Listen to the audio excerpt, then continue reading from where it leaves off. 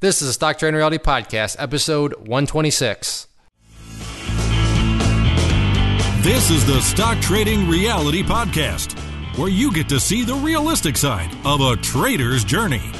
Get inspired and stay motivated by everyday normal people who are currently on their journey to trading success. When he needs to eat humble pie, he goes water skiing. Clay Trader. Yeah, I don't know what my problem is. Um, I mean, I played sports growing up, like a lot of sports in high school and all sorts of things. And in fifth grade or sixth grade, I was able to get up out of the water when I was water skiing. But I've tried two or three times since then, and it has not gone well. I mean, I, have almost gotten up, but I just, I don't know what my deal is. I have balance, but apparently not good enough. I must not have water coordination. I thought that land coordination and water coordination was kind of one and the same, but apparently not. So when it comes to uh, needing some humble pie, if I'm getting a little thinking too highly of myself, just slap some water skis on me, and I, uh, I have learned it'll it'll drag me down to earth real quick. Uh, but Chezz, uh, you grew up around the, the lakes and stuff. Do you have any water skiing uh, experience or really any water sports experience? And can you actually get up out of the water?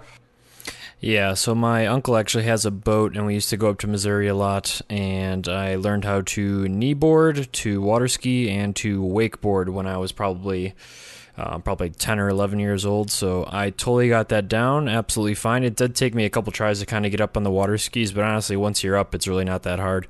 Um, but then remember, I've also skied and snowboarded all my life too. So I don't know if that helps any. Um, but getting out of the water, that's kind of uh, an interesting. Uh, there, there's a little bit of math involved in the angles and stuff you kind of have to hold and not get you know completely destroyed by the water. But yep, I'm I'm totally able to kind of get out of the water. It's been a couple years, but uh, I am able to do it. So your confidence level is high then, huh?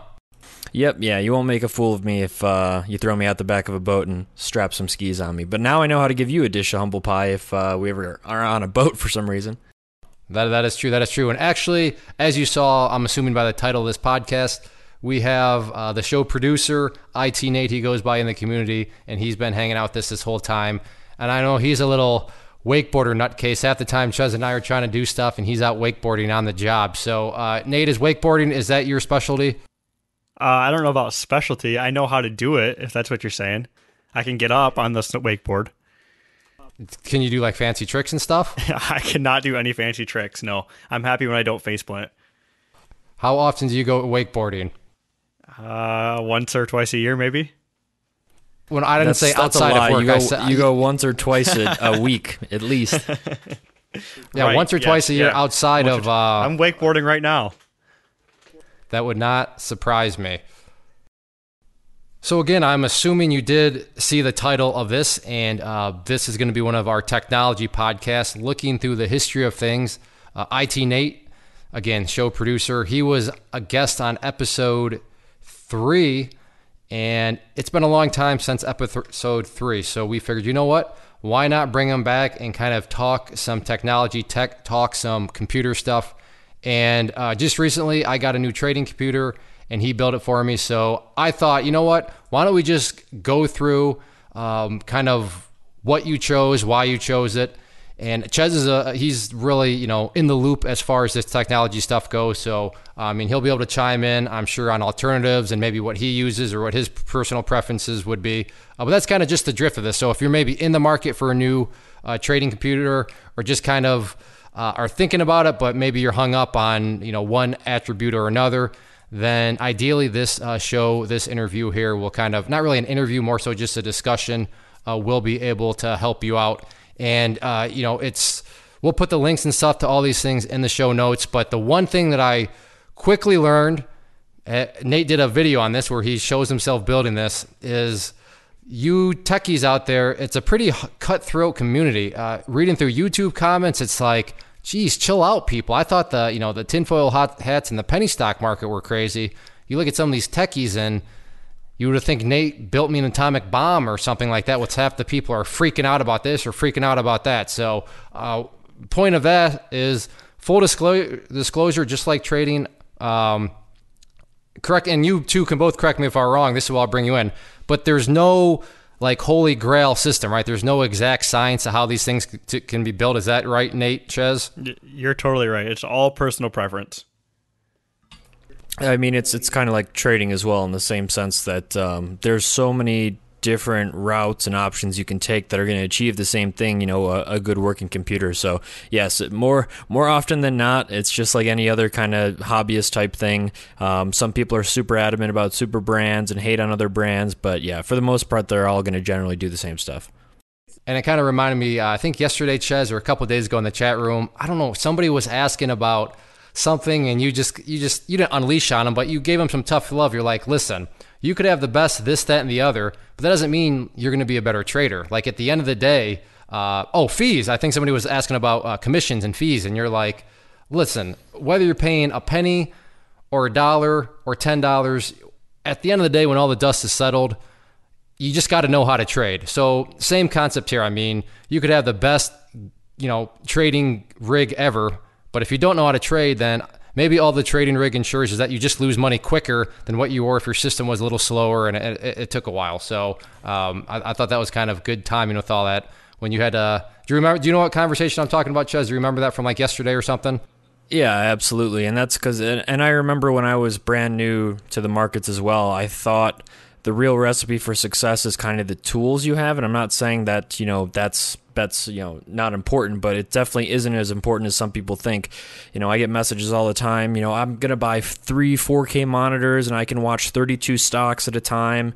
And i go well you know i know somebody who traded on a laptop with thinkorswim with their regular retail rates and still made a million bucks. Um, obviously as they've gotten bigger over time they realize they could save a lot of money in fees and commissions by going elsewhere. But the thing is it just comes down to can are you able to trade or not? You know, don't get me wrong. If you have the fastest computer, the best monitors, um, the the fastest broker, it's not going to really matter if you don't know what you're doing. So some people just get really hung up on kind of the tech side. Um, and I think that's more of a society thing in the terms of, oh, if I spend more money on this, it's going to make me better at it. Um, it's just not the case, especially with trading. There's plenty of people who do just fine on a single screen, one monitor, old, you know, computer from 2005. Um, so, granted, whatever kind of computer you build, obviously, it just needs to run your stuff well. But um, trading, trading is a whole different ballgame. Yeah, and I, I like what you said about people think like you just have to spend a bunch of money and I, th- I think a lot of that comes from, you know, the saying, you know, it takes money to make money. And that is true. It takes money to make money. But in my opinion, spend the money in your trading account, spend it to learn. You don't have to pour it all into the actual computer setup because if you, sp- if you spend your entire budget on the computer, okay, well, now I have this thing and I don't know. Not only do I not know how to trade, I don't even have any money to trade anymore. So um, it takes money to make money you know, take that within context of things. It doesn't mean that you have to go and, like Chezz beautifully said, buy the best of the best technology. As long as you're not on dial-up internet and a computer from like 1997, you should be good to go. So, um, Nate, yes, you are going to be part of this podcast. I'm sure you're starting to get offended by. He's uh, wakeboarding. Not... I've got up and left like I usually do while you guys podcast. Is that not how it's supposed to happen? I'm supposed to stay here the whole time. We hear the waves in the background. So, all right, Nate. Well, I, am I'll kind of th- throw this over um, almost to you and Chezz, and I'll kind of just play the because I am uh, full disclosure. I mean, I'm not like a total moron when it comes to tech. Chezz and Nate would probably disagree with that, but I know a little bit. But this is definitely not my bread and butter. So, um, I mean, Chezz, you definitely hop in whenever. Uh, but Nate, we'll let you kind of start wherever you want. What was the, the first? Where did you start when you're building? You know, my trading computer now that I have from scratch where did you start? Uh, was there a reason that you started there, or is it not really? Per- so, from me asking you guys this, and this is to both of you, because and this is I have no idea. Is there a logical place to start when it comes to building a computer, or can you really kind of just start from wherever? I guess Nate, you can take it, and then Chezz, you can definitely chime in too. Uh, I guess when I start, uh, I always start with a processor that kind of sets the platform for what you're going to need, what kind of motherboard you're going to need, um, all that other type of stuff. So the processor is usually the place that I start. Um, and just you build off of there. Once you pick your processor, you can pick all of your other components and and start assembling it. And I want to fully agree. Most of the time, um, most of my research when I'm going to do a new build, and I don't do them that often. Um, starts exactly like Nate said with the processor because uh, from there, pretty much you have to pick your motherboard and all your components and things that'll work well with it. Um, but the processor generally is the one that's kind of like the brains of the computer. It's pretty much going to determine um, how fast it can operate, and there's more things that go into it, but it's it's the real core of your computer. So when you start there, usually you just kind of build the components off of that, and you know um, a lot of sites are great today. Uh, they weren't they weren't always this way, but they tell you if things are compatible or not. So um, it makes shopping and kind of building computers yourself now a lot easier than it used to be. So is you pick the processor. Now, how do you know what processor to pick, Nate? So for you, for, I don't. I have no idea. What one did you even get? And then you know, why did you choose the one that you did? All right, so the one that we chose was the Intel Core i7 7700K. Uh, at the time that we bought all this stuff, that was like the latest generation of processor from Intel. Uh, since we've built, bought it and built it and everything, they've actually come out with newer versions of it. But that's the one we you just with. built it like three weeks ago. yeah, that's well, they came out with newer stuff. you build it now, and there'll be something else that comes out in three weeks from now. So just how it rolls. And you and you is that like the fastest of the fastest out there, or why did you choose that one as opposed to you know an, an, another version of it or another yeah, brand? it's not the fastest or the fastest for sure. Um, I feel like it's a good price point to performance type of mix. Um, so you can obviously spend like a thousand dollars on a processor if you wanted to, um, but you're not going to get that much more performance over spending three or four hundred dollars on a processor. This one we bought was three hundred nine dollars or something like that. Um, and the way I kind of judge a lot of that, or you kind of get a good idea, and I'm actually sitting here talking with my hands, and you guys can't see me, but uh, I go to passmark.com. Uh, they do a lot of CPU benchmarking. Um, they kind of give you an idea of how your processor is going to perform versus other processors. So that's a good place to start if you kind of have a budget or idea and you want to know what your sweet spot's going to be. So and, how uh, fat? I, I just want to weigh in here. Yeah. Um, so pretty much uh, exactly what Nate said in the terms of it's pretty much price to performance. Um, like you said, you know, you can buy a thousand dollar processor. In my opinion, those are more um, what I call kind of hobbyist builds. They're people who want extreme overclocking and um, pretty much want to uh, that's like their passion. That's where they spend their money. That's their hobby. So for them, they always kind of go big. Um, but for just a, a, little bit less performance, and I mean, you can save 66%.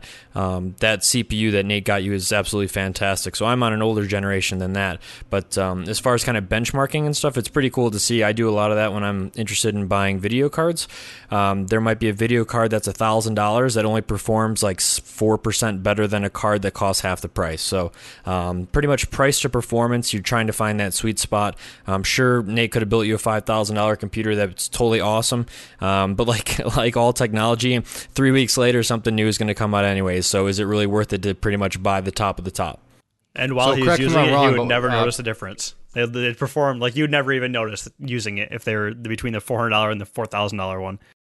Okay, yeah, that's what I was going to ask. Is uh, from the the amateur listening in, which I found fascinating it sounds like when you're building a computer, there's a high risk of you paying a lot more for something for maybe like four or five or maybe even just 10% better performance. Is, am I understanding that right? That is a pretty big risk if you're kind of just out there doing things ignorantly.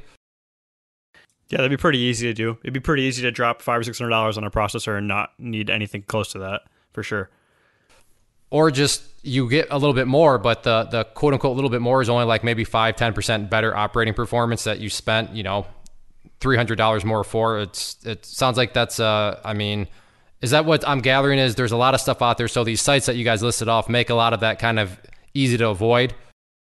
Yeah, yeah, they give you a real world interpretation of how it's actually going to perform versus other ones.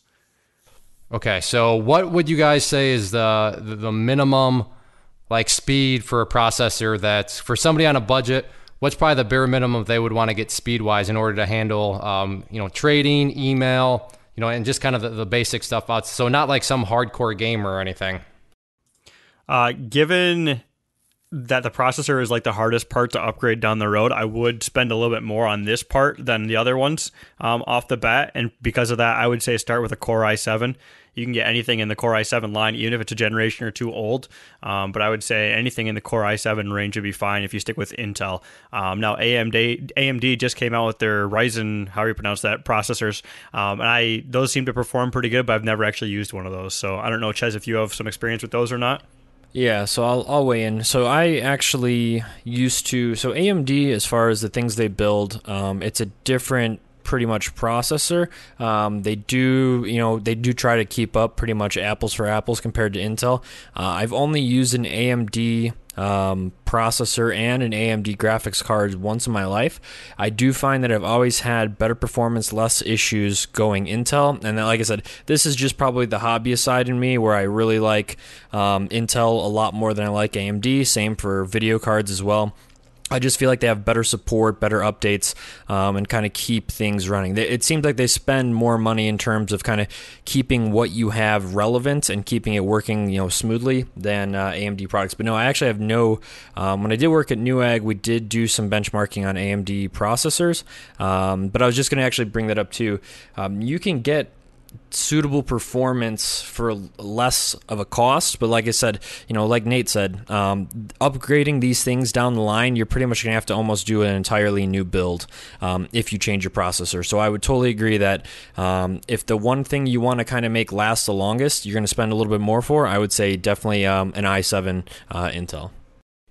All right, cool. That that's very beneficial. So processor is basically the groundwork, the foundation. So you might as well get a bigger foundation than what you may think you need before things get out, or you know, because if you have to replace that, basically you have to replace an entire house. So get a good, yeah. solid foundation. Yeah, you can always add more RAM or a bigger hard drive or a better video card down the road, but you can't really add a faster processor. It just doesn't really work out very good. So the processor is the foundation, and then RAM memory. That's like Windows. Maybe something else is like uh, a nice little hot tub. You can always upgrade those things, right? But the foundation is what it is. Exactly. Do you get the analogy that I'm using, Nate? Yeah, I like it. I like it a lot.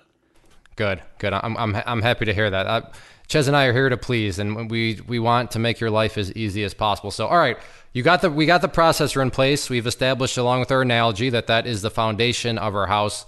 So what is what was the next thing you looked at, Nate, um, and why? Or you know, if there wasn't a reason, then whatever. But let's what's the next piece of hardware we're going to take a look at? So the next thing you need is the uh, the motherboard, and that's what actually all the components connect to. So the processor connects to this, the RAM connects to it, the hard drive, all that stuff connects to the motherboard itself. Uh, there's a couple things you need to look at when you're buying the motherboard. First, since you already have your processor picked out, you need to know what socket type you need. In this case, it was a socket LGA 1151, and that's the socket type that the processor processor actually uses to connect to the motherboard with. So that's kind of where you got to start. Um, you got to just narrow it down to all the motherboards that have that socket type on them. Um, and from there, you need to figure out a how many video cards you want to have, and then b how big you want your case to be. Um, pretty much all the machines that I build are micro ATX size, just because we don't need a lot of expansion cards. Um, but there's different sizes and motherboards that you can choose, and they'll give you more slots to connect more cards if you need to. All right, I have a question. I, I feel like the reverse engineering didn't go far enough because you said, well, first you need to know how many video cards you, you want. But yep. isn't the true question there, how many monitors do I want? Because when you know how many monitors you want, isn't that going to tell you how many video cards you're going to want, which then leads you to the motherboard? Or am I overthinking this? No, you're correct. Those go hand in hand. Um, you can get video cards that support one or two monitors or ones that support four monitors. So it kind of depends on what type of video card you end up using as well. But yeah, I would say you kind of got to know how many monitors you want to use. If you only want to use one monitor, well, then you don't even need a video card. Just use the built in and you're good to go. But if you want to run four, then yeah, you should probably look and see what video cards are out there and how you want to run those. So, in shopping for the motherboard, one of the questions you need to know is how many monitors do you want before you go shopping for a motherboard? Is that right? Yeah, yeah, that's pretty accurate. I usually buy a motherboard that's got two video card slots on it just to be safe, and that's kind of how a lot of them come at this point anyway. So that's not super crucial that you know that now, but you should at least have an idea of how many you want now or down the road how many you might want to run. Perfect. That that makes that sense. Now, which which one did you ultimately choose? And again, just all this will be linked on the show notes page, so don't think like you have to, you know, be writing all this down as you're driving or running on the treadmill. But uh, which one did you choose? And then Chezz, um, if you have any thoughts on motherboards, definitely chime in. Yeah, so I'm going to tell you the model number, but these things change so quick that by the time you actually listen to this podcast, this motherboard may totally be discontinued. But uh, it's the MSI Arsenal Intel Z270M motherboard, and it's a micro ATX, like I said, and it's got room for two video slots, and then also able to support our processor that we chose. And you know, just to to chime in off of uh, what Nate said, for the most part, unless you're kind of building a crazy gaming rig or some crazy hobbyist build, um, those micro ATX boards are totally suitable for what you're doing. They're a much smaller form factor too, um, in the sense that they don't take a lot of space as far as having a huge case. So I actually have a a full ATX build. Um, I've always kind of been into computers and technology since I was a kid, so I have like four video card slots and things like that. And while I've never used more than three, um, those are good things to kind of keep in mind. And uh, you know, pretty much what Nate was saying, and you got you brought up as well, Clay, is um, you know, somebody who's using two monitors versus somebody who wants to build an eight monitor array, um, those are really the only times you're going to need to look at um, kind of more specialized video cards, whether you need to have more cards in general or a card that supports more. So you could buy, like Nate was saying, a card that supports two monitors, no problem. But if you want an eight monitor build, you're probably going to shell out more for those video cards and get ones that, you know, get two cards that both support four each. Um, so those are just little things to kind of keep in mind. For the most part, though, you're going to be totally fine um, with any kind of run of the mill um, micro ATX ones. And MSI is a great, great brand. Gigabyte's a great ba- brand. Jeez, I can't even say the word brand. Um, but otherwise, I mean, you really can't go too wrong on it. You just got to know what, you know, like you're saying, Clay, almost a reverse engineering of what what do you want the end product to look like, and just make sure you don't, you know, shoot yourself in the foot and don't have enough slots. If you need like expansion slots for a wireless card or anything like that, these are just kind of little things to keep in mind when um, you're picking out your motherboard. And then yeah, on and the uh, brand uh, thing that you're saying too, I would say between MSI Gigabyte and Asus, those are probably the only three that I would ever even think about buying. How about you, Chezz? Did you do you go outside of that realm of those three brands at all, or those are what you? No, stick no, I, I stick with those absolutely. For the most part, I'm uh, a Gigabyte and MSI guy, but Asus has really kind of stepped up their game in the the past years. So yeah, I I totally on board with those three brands, but I never really look at. There's some other kind of bargain box type brands, but honestly, um, kind of like what I was saying with Intel versus AMD before, I just find there's much more support, much more help, and um, you know, it, in my opinion, they have the money to really kind of test these things and make sure they work well versus kind of a smaller company. Um, they might produce something that is technically the same on paper, um, but they're a much smaller shop. You know, if you got to uh, RMA something or send something back because it stops working, you're going to have a more difficult time with a smaller brand than, um, you know, one that's big and is kind of established itself. What is RMA? Um, it's pretty much returning merchandise. Sometimes motherboards will come what's called DOA, dead on arrival. Um, these are like very, very. All these electronic stuff are very finicky to you know um, shocks and you know uh, bumps and stuff. So in shipping, um, sometimes devices will come and not work, and some companies are a lot easier. They understand that this is just a problem. You know, you'll send it back and they'll go into their factory and pretty much figure out what the problem is, fix it, and then resell it. Um, but other companies, I've heard of real big horror stories where you know they send a motherboard back to either get repaired or replaced, and they don't get anything back for like 30 days or something. So that's pretty much 30 days you don't have a computer. Um, whereas Gigabyte and those guys, you can pretty much send them back, and once they have shipping confirmation that you sent yours, they'll send you one right away. You know, with a two day delivery or something, so you can kind of get back up and running. But um, I think that's just a safer bet. It's almost like almost anything in life. The the bigger type companies and brands are they understand that they need to be good with support or people will shop elsewhere. So yeah, Gigabyte, um, Asus, and MSI. Um, I've I've had good experiences with all three of those. You know, I never thought about that. So just you know, putting my strictly trading hat on. Yeah, I don't want to sit here with no computer for 30 days. But so that's a big difference, like you said, Chezz. If, as soon as I get confirmation that you that you've mailed it, they'll they'll step stuff up. So if you go outside of the big brands, um, yeah, that would be a really crappy situation. So yeah, that would good. That, that's some good stuff there for a listener. So uh, yeah, stick with the big brand. And do the big brands usually have the most competitive pricing, or can you uh, get better pricing? Maybe if you go outside of the loop of you know kind of the, the the big three brands that you guys are talking about, can you get better pricing, or do the big brands already have it to begin with? Um, honestly, I usually don't even look at the other brands now. I usually will just select the the brands that I like personally. But um, at the yeah, same time, I totally agree. Yeah, they're for the most part they're competitive between the two. Most of the time, you know, more often than not, the prices are so close. Um, what you're really paying for is you might prefer this one brand, or this brand might have a feature um, based for your hard drives to make them faster and do SATA and stuff like that. And, and if you don't understand what that means, don't worry about it. Uh, but for the most part, they kind of realize that they're competing against each other, so the prices are pretty close from what I've seen in the past. I, I just like how both you're like, no, I don't even, no, I don't even you stick with the, the, the, those three brands, and it sounds like you don't even very or you don't even research outside of it. So I think that speaks volumes. That uh, um, yeah, it is what it is. Now I want to kind of you know talk a little trading here, and we were talking about because uh, when we motherboards, I, I can see people sitting there and driving, thinking, okay, well I gotta. I got to figure out how many monitors I'm going to use. And, uh, well, you know, I saw this picture on Instagram and this guy had like nine monitors and all sorts of stuff. So, um, you know, Chezz, weigh in. What are your thoughts on? We've talked about this before, but I mean, there's no better place to talk about what is the right amount of monitors to use for trading. Uh, I mean, you give your thoughts and then I'll give mine. So when it comes to you know real estate, screen real estate, you know, what are your thoughts on the on the topic? Yeah, so the biggest game changer for me in terms of productivity and stuff like that. And it, it, makes sense now why most jobs and companies, or if you work on a computer, will actually give you two monitors. Um, I totally believe that at a minimum, um, especially for trading, I would say two monitors is probably ideal. Um, now, I know a lot of you have probably seen those crazy photos of people who have, you know, 26 monitors surrounding them and 4K TVs all around them and stuff like that. Here's what I want to remind you of. You have two eyes and unless your eyes are splitting and looking in different directions, you can really only focus on one thing at a time. Don't get me wrong, if you have four charts up on one screen, it's nice to take a quick glance and you can kind of see all the information say you want, whether you have one is the the S&P, so you're watching the overall market, and then you have three other tickers that you know you're thinking of putting trades on.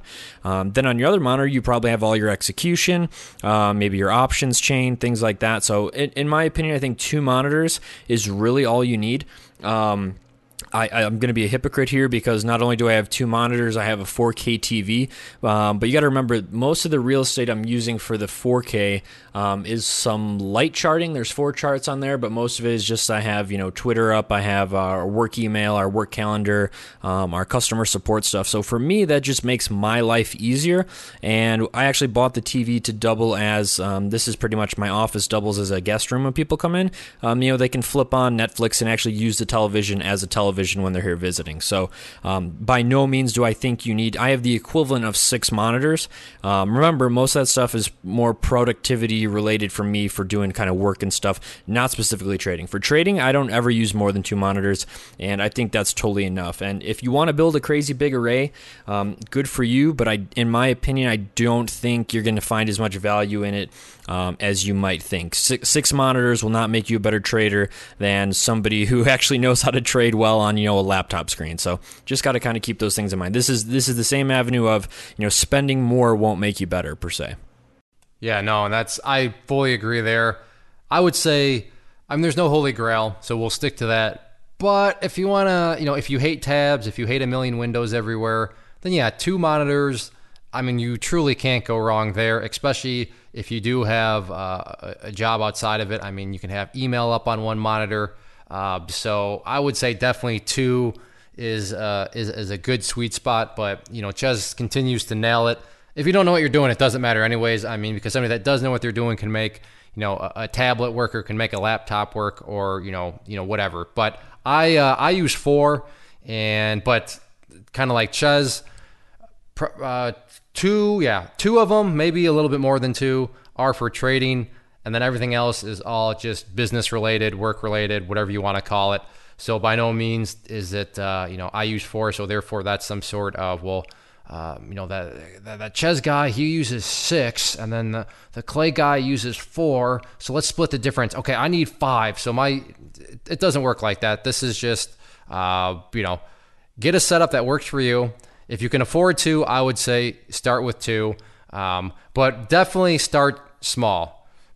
Maybe just start at one, but uh, there is no need to go out there and buy a motherboard that's going to support 12 monitors because you have these, you know, images of grandeur. Remember, you're just getting started. There's nothing wrong with shooting big, so don't get me wrong there.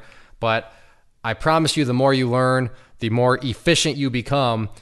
And that's a great thing about efficiency is, well, I don't need to have all these monitors because I'm efficient with my system. You're going to see that 12, 8, 6, it, it, heck, 4, not really needed. So um, now Nate will kind of go back to the tech side of things.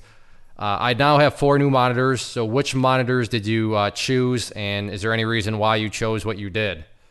I want to chime in on the multiple multiple monitor thing first. You I get a lot trade. of emails. What do, you, what do you know about this? You, well, retire, retirement investing is not trading. I know, but I use one monitor when I trade. No, anyway, people email me a lot and they say, "Hey, I want to build a four monitor computer and I have like eight hundred dollars." Well, you're not even gonna be able to get four monitors for eight hundred dollars, let alone build a computer. I think a lot of people underestimate how much a decent monitor actually costs. I mean, you're probably two to three hundred dollars real easy to get a bottom of the line entry level monitor that's going to do what you want to do. So I think a budget is another big factor when it comes into doing this. If you only have eight hundred or thousand dollars, you're not getting four monitors. It's just not going to happen. That's actually a really good point. So, and my foot doesn't taste too good. So, I yeah, I definitely put my foot. In, good point there, Nate. Just good go point. water skiing. Yeah, I need to go practice. what what I want to bring up though too is you kind of nailed it, Clay. As as as time has gone on, you'll start to find out. You know, you become more efficient not only with what you have, but you might be using, you know, say one monitor to start. Say you, most of your budget had to go into actually building the PC, and you have one monitor. Um, and now, as after you've been trading on it, you see, ooh, you know, I could really use some more screen real estate for, um, you know, maybe some more charts or some more uh, order entry, um, you know, anything in, related to that. Now you can start looking to spring and save up for a second monitor. Um, but that would just take a little bit of foresight and make sure, you know, most video cards nowadays at least support two. Most of them support three as a normal. Um, a lot of them nowadays even support four, no problem.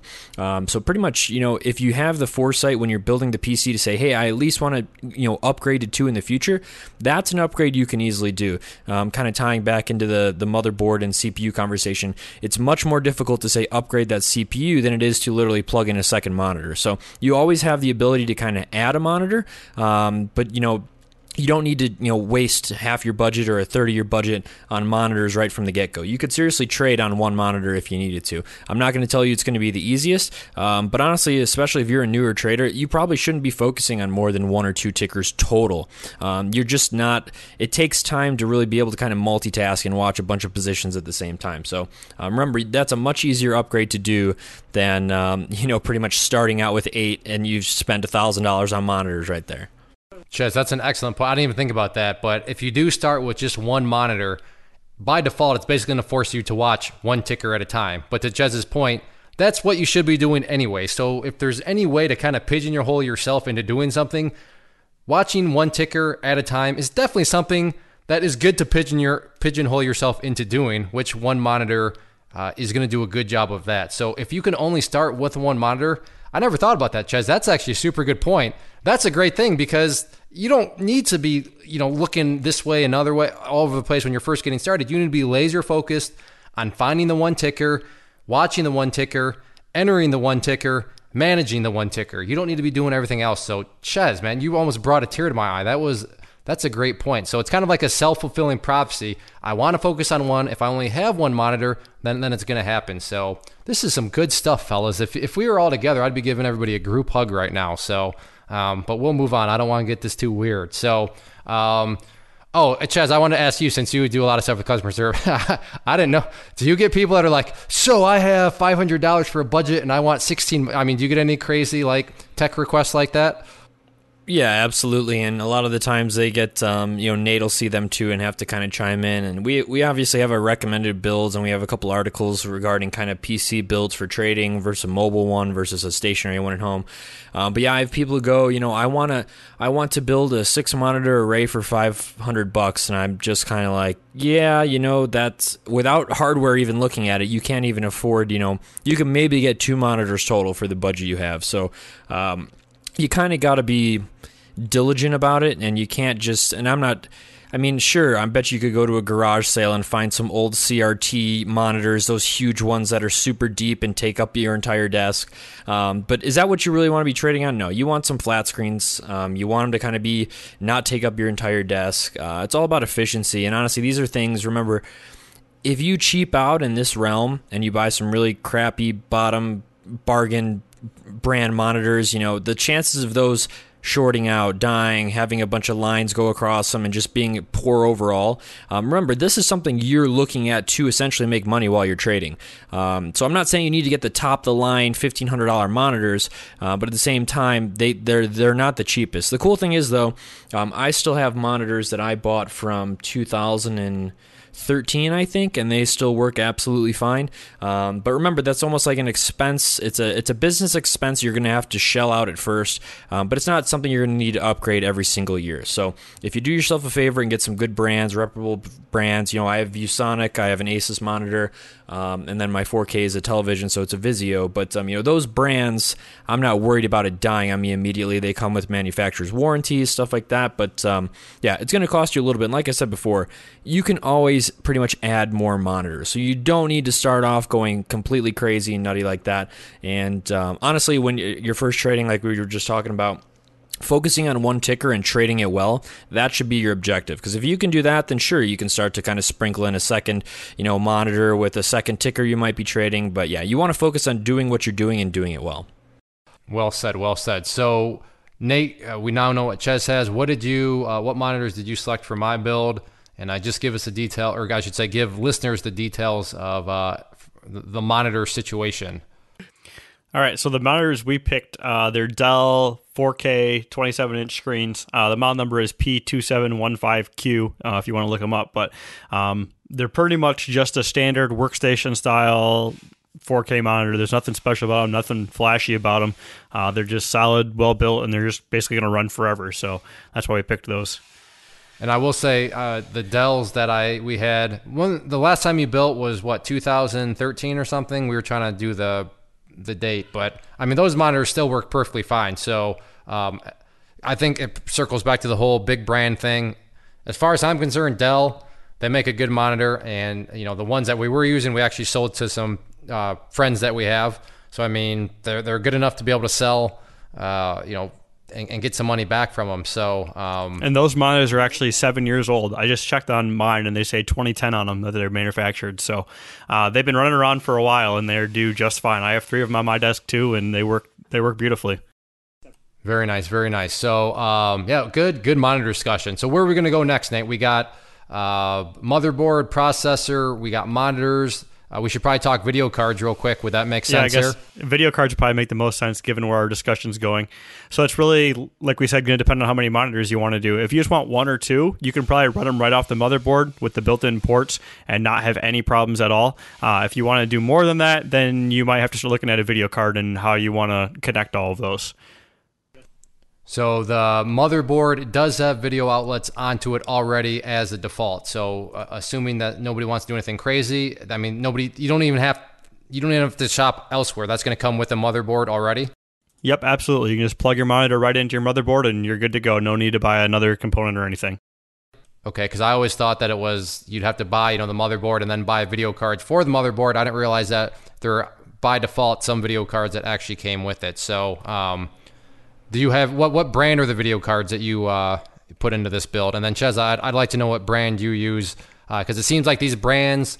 Uh, usually a safe bet to go with some of these, you know, uh, better brands um, that we've had success with. So uh, chime in after uh, Nate fills in the listeners all right, so the brand we went with, I, there's kind of a twofold. There's a brand that actually makes the video card, and then there's a brand that makes the chip that goes on the motherboard. Uh, the chip manufacturer is NVIDIA, and I pretty much always go with those guys over AMD.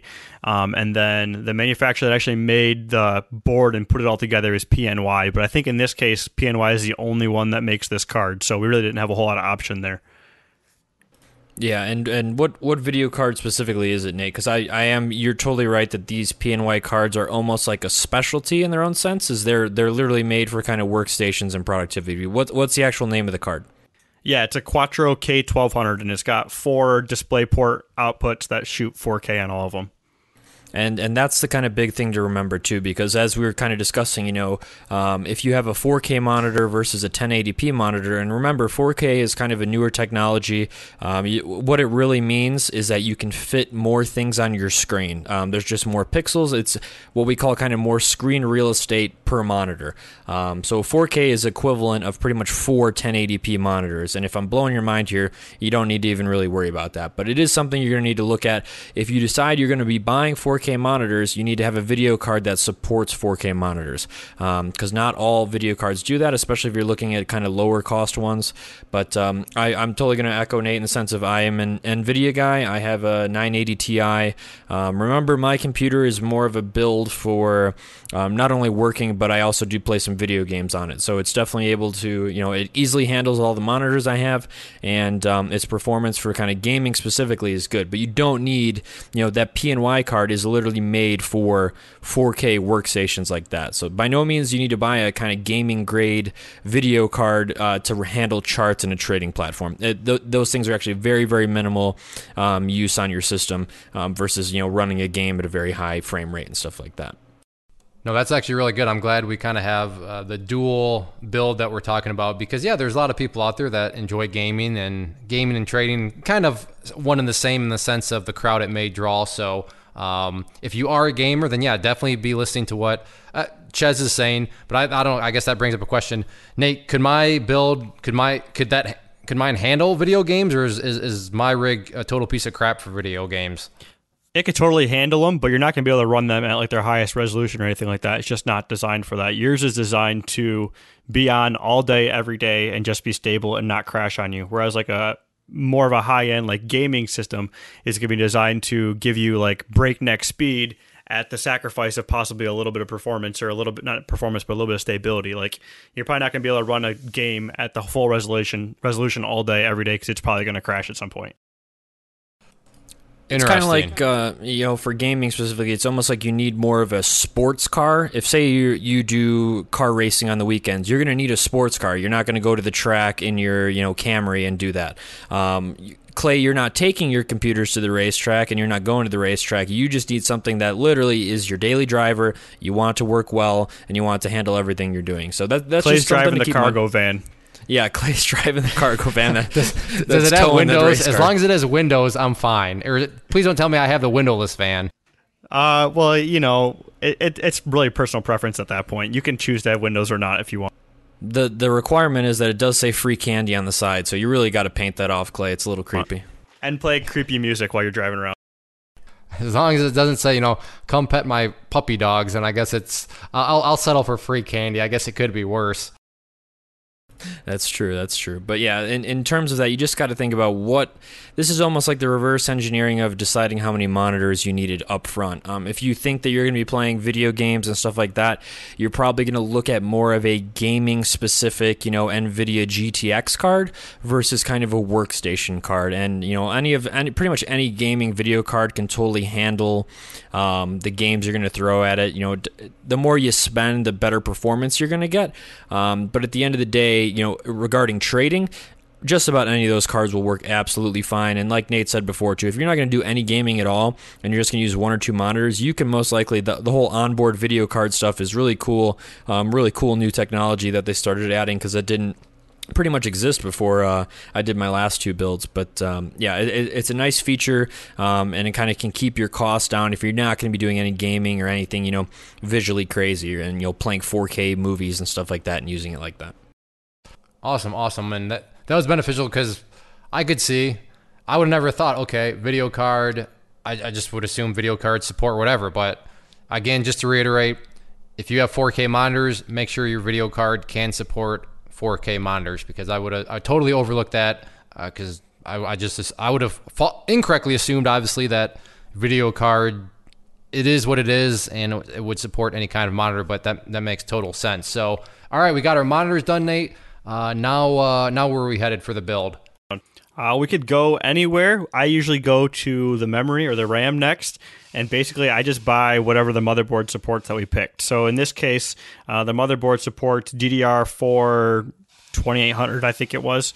Um, so that's or 2400. So that's what we picked. We bought uh, 16 gig of DDR4 2400 memory. Um, wasn't really a whole lot that goes into that. I would say if you're buying a or building a system, you don't want anything less than 8 gig of memory, but 16 to 32 gig is probably going to be the most you'll ever need. You're probably never going to need more than that for a for a typical system. And Chezz, why don't you explain to listeners and me what exactly does memory do again? What is its function within the body of a computer? So I guess an analogy to use it as kind of the the CPU and the processor and the motherboard. Those are kind of the brains of the computer. Those are the ones that are going to kind of do the logical thinking for you. Now the RAM is almost like how good of physical shape are you in. So the more RAM you have, um, the more kind of uh, Chrome tabs or Firefox tabs you can have open. You can do more things at once if you have more RAM. Essentially, every time you open a program or another Windows tab or a Skype, uh, you know, Skype program, any the more programs you open, the more of this RAM and this memory it's using. Um, so I totally agree with Nate, especially if you're only going to be doing trading. You're absolutely fine doing only uh, eight gigs. This is another one of those realms where you don't have to go and fully max out your motherboard to start. This is something that's totally easy to upgrade. Um, the one I, I only have 16 gigs of RAM. Um, my old build actually had 32, um, but it really wasn't being utilized. I didn't need it, so I only went I, I have still have more slots. I can double my RAM to from 16 to 32 if I want to. Um, but honestly, I've never even come close to kind of maxing that out with three trading platforms open, running. Uh, gosh, I have so many Chrome tabs open just for work and everything else. Um, that I've never even come close to using uh, all of them. I usually use maybe at the most eight. So um, unless you're doing some crazy multitasking, video editing, and all this other kind of stuff that's really kind of intensive, um, I'd say eight to 16 is totally safe. Now there is one thing I want to say if you are going to upgrade your RAM in the future. Mixing and matching RAM from different brands and stuff like that, you can have some problems with it. For the most part, you want to get the same exact brand, same model number of your RAM if you're going to be adding more in the future. Um, compatibility and stuff like that, for the most part, they're meant to work together, but some chip processors are just slightly different than other ones. It might cause your computer to lock up or crash more often. Um, I only had to learn that lesson once about two builds ago, um, and now I always will just buy the same brand, same model, same everything, keep everything in line, and then I haven't had any issues. Any comments on there, Nate, or is it pretty good summary? No, I totally agree. Um, I've done that a lot where you have to upgrade memory, and yeah, I always buy the same model, name brand, everything. Even if I have to buy it used, I'll pick a used stick over a used stick of the same model over a new stick that doesn't match. So make sure these model numbers match. That's kind of the, the hardcore bottom line here. Yeah, if you're going to upgrade down the road, make sure you get more of the exact same what you had currently. And is that uh, insulation wise, that's that's pretty straightforward, right? You literally just plug these thing, you know, plug it in the motherboard or whatever. I mean, it's that's not like you need a hammer and nail or anything, right?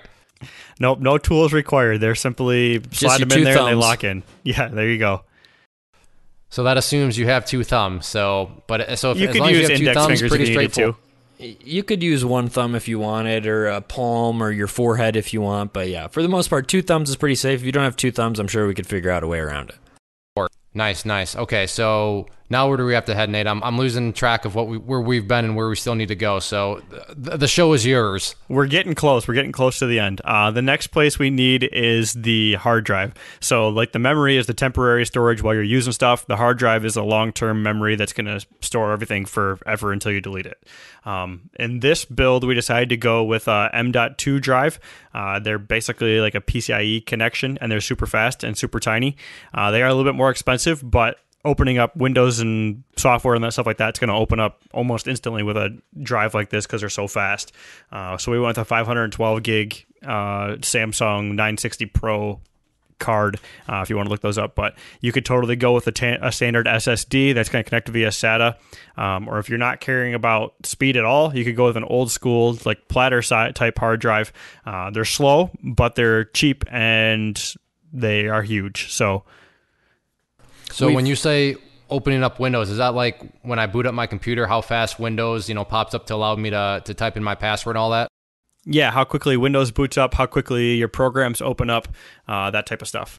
Okay, yeah, I would definitely say I've seen a big difference in that because my old one, I mean, it's not that it was slow, but Windows waiting for everything to you know boot up and get going after I type in my password to even log into Windows. It seems to be a whole lot faster now. So that's what you're talking about when it comes to hard drive. Yeah, exactly. You had a standard SSD that was connected via SATA before, and just the throughput and the speed of this new one is light years ahead of what your other one was. Yeah, I have no idea what you just said. That was Chinese, which again, for you listeners out there, this is why on the show notes page, we will have links to all this stuff because I Nate could have just cussed at me for all I know, and I don't even know what he just said. Something about SSDs and SARS and I don't know. It sounded like an STD, but anyway. So, uh, Chezz, when it comes to, uh, I mean, what do you have as far as uh, the hard drives and all this? Again, keep in mind, listeners, he is talking about more so from a gaming perspective and gaming slash trading perspective. So I mean, Nate really nailed it. Um, for to keep it in real simple terms, um, the hard drive you have almost is like a, a, really fast delivery. So say you order food and like Jimmy John's can deliver it in five minutes, or you try to order uh, an Italian dinner that might take you know 45 minutes. Um, what you got is the Jimmy John's. You got the very fast delivery. Everything will open up very fast. Um, and the one recommendation I do have, and, and Nate pretty much summed it up, they do make you know a traditional hard drive is pretty much actually disks spinning.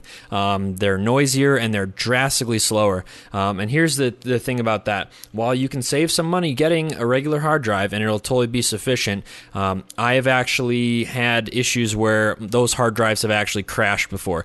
Um, as far as kind of wear and tear, since they're actually a physical object moving around, spinning, there's a little needle. It almost looks like a little record player with a bunch of records on it. Um, they're more prone to have issues. If you bumped your tower the wrong way, um, or any kind of stuff like that, you could possibly crash your entire hard disk. So I would recommend, especially with the way prices have gone now, you should be looking at getting a solid state drive or an SSD. Um, so I personally, I have, uh, I don't have any M.2 cards because those are kind of a newer thing. Um, will I get them in the future? Absolutely. Um, I really do value the speed at which things kind of open up, and I don't like sitting around waiting with the Windows spinning wheel and stuff like that. Uh, we've gone too far in technology to kind of have to even deal with that now. So um, even if you get a regular SSD, you're already a leg ahead of the game. I've had one SSD that I've owned for nine years now, still runs fine. I have it actually on my PC in the living room, um, still operates totally fine after nine years. So um, with other hard drives, I mean, they just start getting uh, messed up. They'll start making noises. So I, I, would never dream of even having a hard drive. Um, none of mine ever lasted, you know, more than uh, six, seven years. I was uh, obviously I used them very heavily, but um, still. Another thing you got to keep in mind is um, as far as kind of the space. So I think Clay, you have a 500 gig one. Um, if you are downloading, if you are a photographer and you have gigs and gigs and gigs of photos and stuff like that, you're going to need to be aware of the size you get. So I have a one terabyte drive which handles all of one terabyte SSD that handles all of my. Um, I used to be into photography, videos. I have a ton of that stuff on there. Then I have a 256 uh, gig hard drive that just houses my games, so they load very fast. And then I have a 128 gig um, solid state drive that just handles my operating system. So I kind of keep them all separated. Um, the reason I do that is because when I change builds, I can literally just take out this drive, my my drive that has all my videos and photos on it, and plug it into the new computer, and it'll work just like uh, almost like if you plug in a USB stick. It pretty much works as simple as that um, for when I do upgrade PCs. And I do like my computers, so I do upgrade things. I do new builds every couple of years. Um, so that's the only reason why I do that. You absolutely do not need three different drives for things, um, but just be aware. This is almost like you know the monitors and everything else, kind of looking ahead. If you know you're going to be using a lot of stuff, if you download movies or whatever it is, um, you're going to need to get a little bit of more space than um, say a, a 256 or a 128. Now, and along with a that, comment a little bit earlier back, Chezz, which I which is a great point about pricing and you know how pricing has basically improved. So for for what you're saying is maybe an older hard drive, but still an SSD. Uh, what what sort of price uh, you know are you looking at? Um, which, like you said, would still be more than enough and would be much better than you know these older school ones. So, what sort of price? How how friendly has pricing become in terms of still getting a good quality, uh, you know, kind of minimum hard drive to get for at least trading? Um, well, memory now has it, it really kind of depends on, or just kind of your uh, how much storage and stuff like that. Those those prices have dropped. I actually haven't been in the market for quite some time. I don't know if Nate you want to weigh in, but SSD prices in general they used to be you know 500 bucks for a very small one, and nowadays I feel like it's less than half that. Um, you know, there's no in my opinion there's no reason not to spring for an SSD uh, versus a regular hard drive. The price is just slightly more, and in my opinion they just are so much faster and um, in my opinion last longer. But as far as pricing and stuff like that, uh, I have no idea actually where the pricing's been. I haven't had to, to look up any of that stuff in about two years now. So for so basically, we're talking about three types of hard drives here. We're talking about the M.2 drives, which are like the newest, latest, and greatest. Then we're talking about standard SSDs, and we're talking like the old school platter spinning hard drives. So price wise, the M.2 drives are the most expensive. They're the most fat. They're the fastest. For one terabyte of that, you're looking at about five hundred and eighty dollars.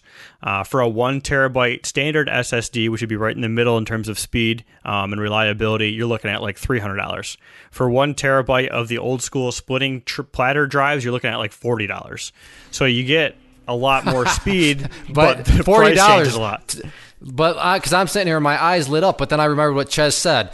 That's like Chezz, correct if I'm wrong if I misunderstood you, but that's like a headache waiting to happen, right? Yeah, it's just in my opinion. Don't get me wrong. I think it's awesome that you can get one terabyte of storage for forty dollars. But for me, just and and this is just speaking from experience. I've been you know messing with computers for over 15 years of my life. Um, hard drives, typical old school platter drives, are more susceptible to issues. And, you know, um, PC Part Picker actually, you can kind of compare different drives and it'll actually give you a price per gigabyte um, kind of comparison. So, pretty much that $40 drive is four cents a gig, which is absolutely dirt cheap. And then a regular, you know, solid state drive is like 33 cents a gig. In my opinion, it's totally worth it to know something will work for a long time without issue. Um, I it's just if you needed to cut some corners in terms of your costs, you could survive on a regular platter drive. It is going to be slower though, and in my opinion, I've just had more problems for like the long term. If you're just if you're planning on upgrading your computer every 2 years or something, you could probably get away with it. But remember, the speed is the big thing. SSDs are just a bunch of times faster and the M.2 is even ridiculously faster than that. And I actually run a hybrid of the two in my system. So I have a standard SSD that my operating system and all my programs are on, but I still have an old spinning platter hard drive to store all my videos on because we shoot massive amounts of data and videos, and it's just not cost effective to have a four or five terabyte SSD drive, whereas I can get a four or five terabyte spinning platter drive for less than hundred dollars. So that would, but that's definitely on the business side of things, unless people are into shooting massive YouTube videos. Yeah, right? for the most part, homeowners are never going to need that much space, but that might be a way to lower your cost of entry. Maybe only buy a 128 gig SSD and then get a cheap one or two terabyte big drive if you have other stuff you want to store. Yep, I completely agree with that, and that's actually what I did in my my older builds. You just put your operating system and any of the programs you run daily on the solid state, and they'll load up really fast, and then you can use an older type drive for kind of storage of uh, photos, videos, or anything like that. I'm learning something. This is this is interesting. I'm I, I yeah, this is good stuff. But uh, where are we headed next, Nate? Looking at the time. I, and you thought we weren't going to have anything to talk about, Nate, and we're we're already pushing the, the hour mark. But uh, are where are we going to need to go next? So really, there's not a whole lot left to do at this point. You need to pick your case, which that's personal preference. If you bought a micro UX, uh, micro ATX, well, I can't think what they're called, micro ATX uh, motherboard, then get a micro ATX case. If you bought an ATX case, get an A your motherboard, get an ATX case. It really doesn't matter. You can just pick whichever one you like, whichever looks the prettiest. I typically go with the Antec uh, cases. They're fairly well built and they're cheap. So really, it doesn't need to do anything. It just needs to hold all my components together. So that's what I go with. Um, in terms of powering the whole thing, you're obviously going to need a power supply. So for a basic system like we built for Clays, there's not any crazy video cards. There's not running 500 different hard drives or anything like that. You just need a basic four or 500 watt power supply, nothing special. Uh, sometimes if you start doing two or three video cards in a system, you may need to get something a little more specific that's going to have all the connections that you're going to need. But for the most part, uh, four or 500 watt basic um, power supply is going to do what you need to do for it. What about cooling? Don't I have like a do I have a fan or how does this thing stay cool? Uh, for the most part, you all the fans come with all the parts we've bought so far. So the power supply's got a big old fan in it. Uh, your case is going to have one to three or four fans, depending on what case you buy. And your processor is typically going to come with a fan or a heatsink as well. Um, the one that we bought didn't, so we had to buy a separate heatsink and fan. But that's pretty straightforward, and a lot of them do come with those already. So you just bolt them on, and you're good to go. So is, is it safe to say that that Chezz, I'm, and I'm asking you this. Essentially, what Nate just covered these three different areas is this all basically just? I don't want to say it doesn't matter because it does matter, but as long as you know, for example, power supply, it's giving you 400 watts. Uh, you know, 400 watts from AMD and 400 watts from Nvidia. I mean, it's the same. It's 400 watts. Is it pretty much just totally personal preference at this point for this, you know, kind of area of the of the build that Nate just talked about? Yeah, so I mean there are um, different kind of brands and stuff like that, but for the most part, you know, when you buy a case, it's already going to come with fans. They usually give you there's spaces on mine. I can add I think three or four fans to mine. Um, I've never found the need to because it vents just fine. Um, and then when you buy a processor, usually they'll come with a heat sink. They don't always like yours specifically. Um, you know, for me, I have more of a hobbyist build, so I have liquid cooling, um, which just so if I want to overclock it, it'll reduce the heat much better than a regular fan. Um, but like I said, this is more the hobbyist type route. Um, and as far as kind of power supplies, though, the bigger thing you're looking at is making sure you have enough to power everything you have. Um, so for me, uh, you know, while a 400 watt power supply worked for you, I had two video cards and like six hard drives in my computer. I have an I had an 800 watt one. I still have that. I've just been reusing it.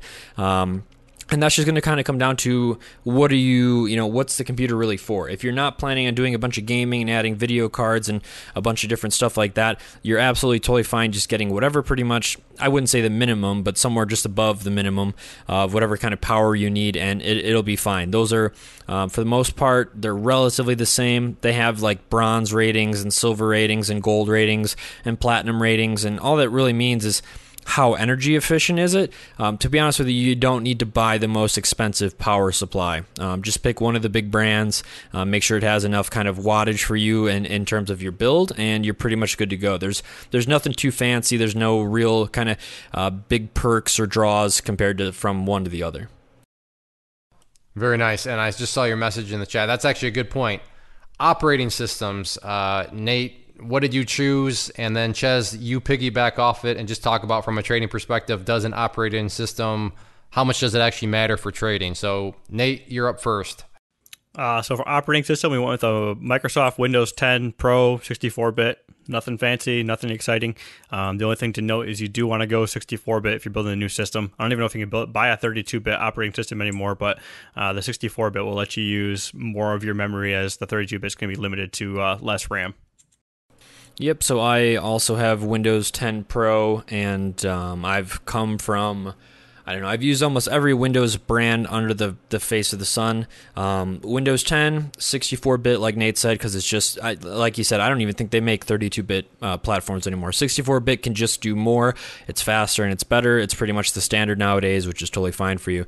Um, when Windows 10 came out, when any new operating system generally comes out, um, there's going to be kind of some hiccups and things that have to kind of get smoothed out over time. Uh, when Windows 10, 10 came out, most things worked absolutely fine. There was some issues, but they've done updates. Um, it's been around now for some time. I don't think there's any reason not to kind of go with Windows 10 at this point. Um, some people always try to stay like one operating system behind. Um, in my opinion, it's not the best anymore because I'm getting you know updates from Windows as they fix things, as they resolve issues that you know may have come up when they built the thing. Um, so I always recommend sticking to the latest. I'm not saying do like beta testing for Windows 15 or whatever comes out next, um, but whatever the stable one is out that's currently there, it's supported. Um, just do yourself that, and, and don't be one of those people that tries to kind of pirate an operating system from like a torrent or somewhere on the internet. Um, I promise you, Windows is smarter than that. More likely than not, you're probably downloading a virus that's going to log your passwords and all this other stuff. So do yourself a favor, go buy Windows, an actual copy of it. You can get just the, the key and install it from a USB drive, or if you have an internet connection, um, or you could use a CD, whatever you know, whatever it comes with. Just buy yourself a genuine one though. Don't don't be one of those people trying to save you know 30 to 50 bucks um, by trying to download it and, and then all your banking information information gets stolen and you wonder what happened. Yeah, well, what happened is some Nigerian princes riding off into the sunset uh, with, with some good cash. Now, uh, I, I, guess whoever wants to weigh in on this, but I, I've seen this question. Hey, I want to use a MacBook or I want to use basically I want to use an Apple product for trading. That operating system works perfectly fine too, right? That works perfectly fine, provided your platform has a version of their software that works on it. Yeah, so for context here, Thinkorswim actually has a platform for both Windows and for Apple. Um, not all platforms, though, offer Apple stuff. And keep in mind, if you are listening to this podcast more often than not, you're building a Windows computer. Um, Apple computers, you can't really customize, you pretty much buy them how they are.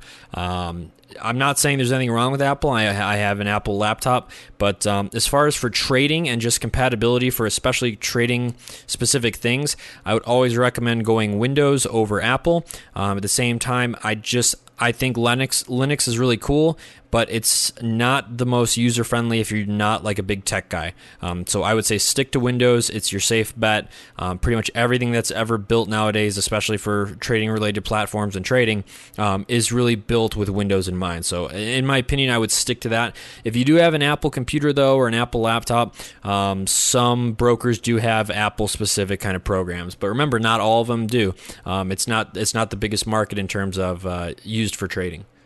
That's actually that's very interesting. I, I didn't think about that. So um, just to make sure I understand, uh, you're not saying Apple is a piece of junk because of their products. You're just saying that as far as trading end, meaning brokers, platforms, tools for their little software engineers that are typing things up, those codes, those software programs it's almost a guarantee that they're going to have a version for Windows, but it's not quite a guarantee that they're going to have a version for Apple. So the risk comes in you may not have as much flexibility for platforms and tools if you're using an Apple. Is that what you're basically just said?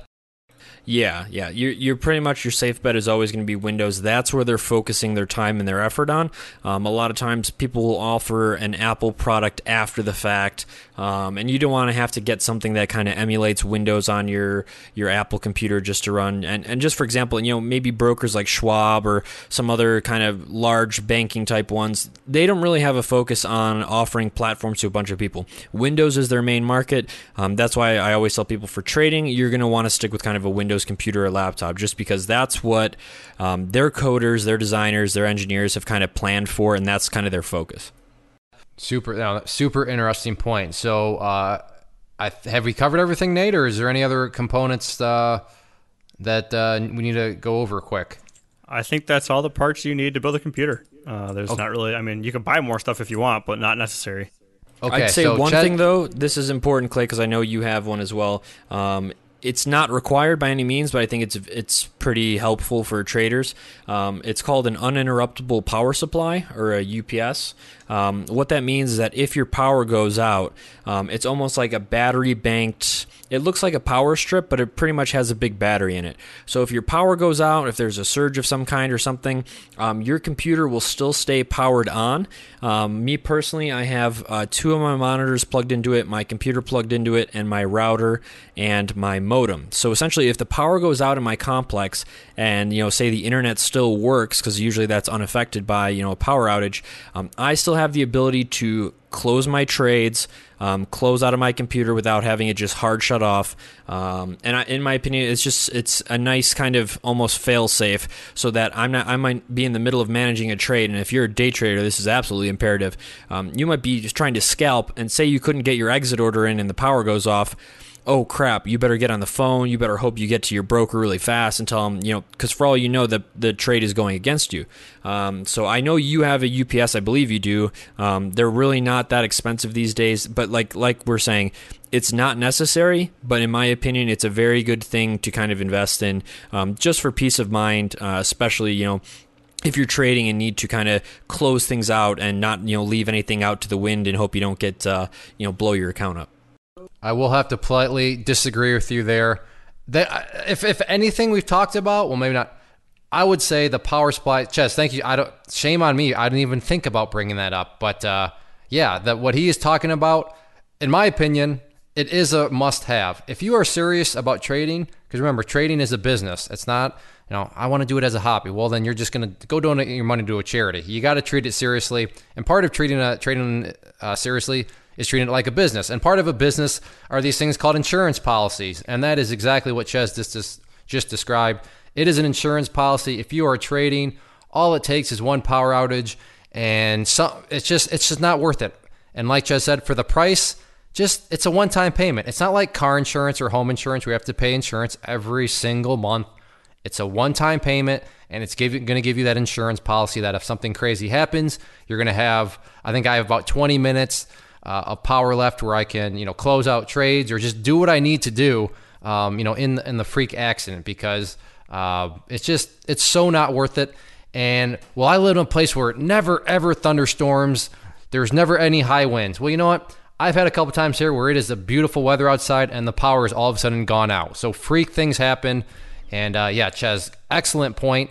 Um, but I would say that is a must have because um, it's kind of one of those things uh, where if you don't have it, and I could be wrong in my assumption, but right as ah, they're not that serious. They're not here to play ball. They're not here to, to really take trading by the by the horns. Because if you are, then that's something that's a, a no brainer from an insurance policy perspective. Because again, it's a one time payment, and that payment is not that much. So I use the CyberPower. Looking down at it again, we'll put the link in the uh, show notes. But and I've done actually done an entire video on this where I call it an insurance policy because that is exactly what it was. Wow, Chezz, you opened up a can of worms. I, can of worms. I just ran in on that one, but yeah, that is a, a good point there. And wow, looking at the time, Chezz, you made a statement. So this is totally your fault. I'm not throwing you under the bus, but you made the the, the statement about kind of cutting corners in a, a, a cost saving type of way. So, uh, and I want to ask you both this, but is there an area or a couple areas where you would say if you are gonna cut a little corners, so you in, in the spirit of saving some cost, you know, where were those areas of the computer build be? So Chezz or uh, Nate, you can start off, and Chezz, you can wrap that up. Uh, I would say uh, we kind of talked about it a little bit already, but monitors uh, for sure is probably the easiest place to start. Just start with one monitor. Don't buy six of them. Uh, you're gonna save yourself a lot of money there. Um, by only going with one monitor, then you can only you don't need a video card, so you save yourself a hundred or two hundred dollars there. Um, those are probably the best places. And then we also touched on it too with the uh, hard drives. Uh, maybe get a little bit smaller SSD uh, if you don't have quite all the cash or something like that. That'll save you a little bit of money. Yeah, and I was I was pretty much going to say the same exact thing. Um, if you can keep yourself from having to buy an external video card, you've easily saved yourself a hundred or more dollars right there. Um, going with less monitors versus more, you can use the onboard video and um, also hard drives. If you if you're just forced to, you can only afford the one terabyte, um, you know, platter disk drive for forty bucks versus you know the hundred dollar SSD. You could do that as well. Um, it'll it's going to run everything you do just fine. It's gonna it's not that it's going to be subpar. It's just going to be slower, but it'll totally work. So I would say pretty much um, video card or monitors and pretty much the hard drives. I would not skimp out on the CPU or the RAM or the motherboard. Those things are very important. Um, so if you need to cut costs, cut costs elsewhere. Oh, that's a good point. So would you agree, Nate, that for the non areas where don't even, it's like, you know, the, the, big caution tape, do not skimp out here, do not cut corners here. Would you agree with what Chezz said uh, in those areas of the computer? Yep, I would 100% agree on that. Thanks, Mr. One Word Answer, but I guess. I, I mean, what else do you want it, me to say? I don't know. Just give us some Shakespearean type reply that just blows our minds. But I guess, yeah, uh, Chezz did summarize that pretty good. So, uh, Chezz, Nate, uh, are we missing anything? Do, do we? Uh, are we good? Are we good to go? We're good to go on my end. Yeah, I don't have anything else to add. All right. Well, that, that as simple as that. So, um, and I'll wrap it up then. So, if you do have questions, if you do have comments or whatever, the best place to really leave those questions, uh, so Nate and Chezz can see them, is going to be on the show notes page. And again, that is where all these links to these different components are going to be listed. Uh, so if you do have questions, um, head to the show note page. If you want to see kind of what these parts look like, like I said, Nate did uh, a, a, video that is on our channel. So we'll put that link again in the show notes if you want to go and actually see Nate build all this together. Uh, but that's going to be the best place uh, to, to communicate ask questions, uh, give feedback is right on the show notes page. And if you're there, uh, please click that share button. If you're listening on YouTube, uh, you can definitely you know leave comments there.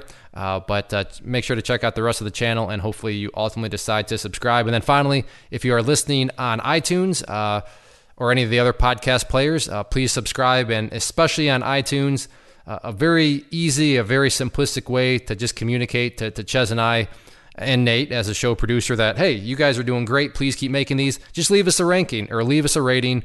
Uh, that really does help us out and goes a long way. So thank you, Chezz. Thank you, Nate, for your.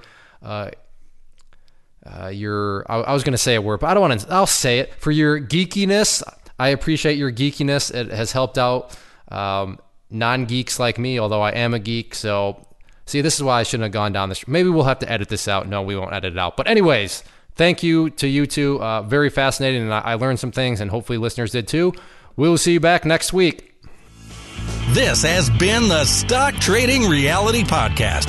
Thanks for taking the time to hang out. To learn more about Clay and the Clay Trader community, including the trading team, premium training, and more, visit claytrader.com.